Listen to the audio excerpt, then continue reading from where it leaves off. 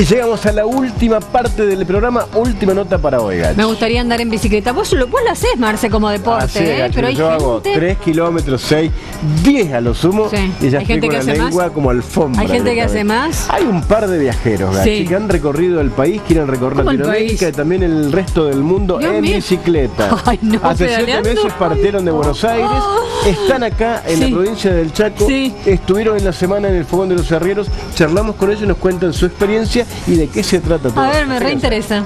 Bueno, el proyecto se llama Travesía Visual, es un viaje en bicicleta y fotográfico. Estamos recorriendo toda Argentina en bicicleta, más que nada los 34 parques nacionales que tienen acceso público. Eh, vamos realizando talleres de fotografía nocturnas para la comunidad, que el conocimiento se quede en los lugares. Estamos con el plan de generar una masa de fotógrafos nocturnos que nos dediquemos a esta especialidad, generar comunidad y bueno, encontrarnos, creamos el grupo Fotografía Nocturna Argentina. Estamos como con esa misión porque es algo que nos encanta, es nuestra pasión. Bueno, la bicicleta surgió hace más o menos cinco años. Con Rodrigo nos conocemos desde que nacimos, somos casi primos. Y fuimos pensando cómo podíamos viajar. Eh, bueno, encontramos varias ventajas en la bicicleta que más allá de lo ecológico, además de la salud, eh, eh, también tiene un bajo costo, más allá de la bici nomás. ¿Cuántos kilómetros de bicicleta llevan? Y llevamos 7.000, eh, no, en bicicleta llevamos 6.000, 6.500 aproximadamente. Y en total 7.500 en varias entradas nos subieron en camionetas y camiones. ¿Tiempo cuánto sería?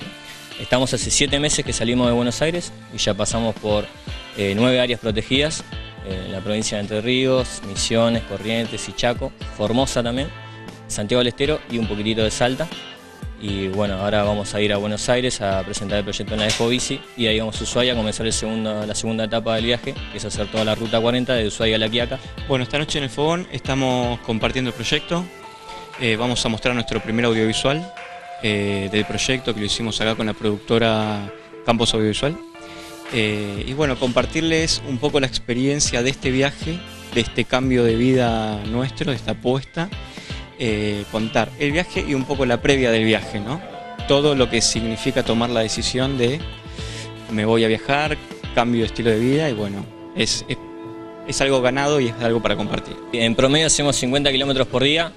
Te digo en promedio porque hay días que hacemos 40, 30 y hay días que hemos hecho 90. Y bueno, vamos parando en donde la, la ruta nos propone, digamos, ¿no? El clima, la ruta, eh, los lugares, los pueblos donde nos encontramos. Hemos parado en muchas casas que nos invitan la gente. La gente siempre nos ayudó y fue algo fundamental en el proyecto. ¿no? Todo acompañado con imágenes, tenemos varias historias que la gente lo puede ver, ya que está, lo, digo que es www.travesiavisual.com.ar que ahí pueden ver eh, varios posts digamos, de los parques nacionales y a la vez las imágenes que vamos haciendo.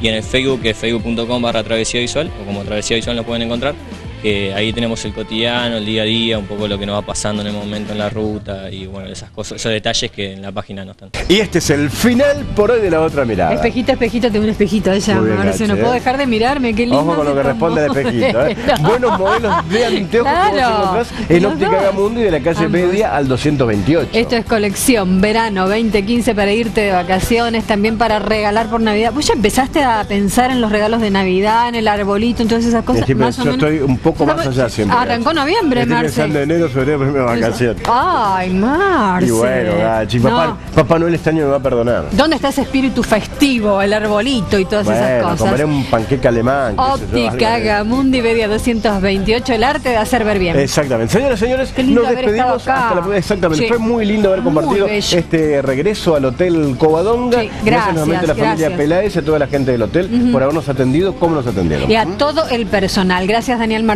cameraman y editor de La Otra Mirada. La señora es Gachi López, conductora de este No programa. me gustó cómo me señalaste así, No, Tenemos dos columnistas, los doctores José Andrés Novo y Sergio Antunes y el conductor de La Otra Mirada. Muy bonito él, Marcelo Gato Prado Lima. ¿Qué es eso? ¿Qué indicas? ¿A cuánto le ¿Qué? da lo mismo, ¿Eh? ¿A le nadie, lo Marce. mismo? Yo, Bueno. yo no, yo, yo ahorro mucho en piropos. ¿eh? La señora no regala elogios. No, exactamente. Es, muy auténtica, como estábamos Y hablando fuera de austera, cámara. y austera. Mm. Bueno, algún día, algún día, quién sabe, vamos a poner una cámara para grabar en Sí, vivo la otra mirada para que ustedes lo puedan ver en internet Claro. mientras estamos grabando Sí, los sí. jueves al mediodía. Y en los errores que cometemos, vere- veremos cómo lo implementamos Ajá. dentro de poco tiempo. Bueno, nos retiramos hasta la próxima semana, que la pasen muy bien y que disfruten muchísimo de este primer día del anteúltimo mes del año. Eh, exactamente, es complicado. Chao, que la pasen lindo. Chau, chau. es solo un momento, es una mirada y saber.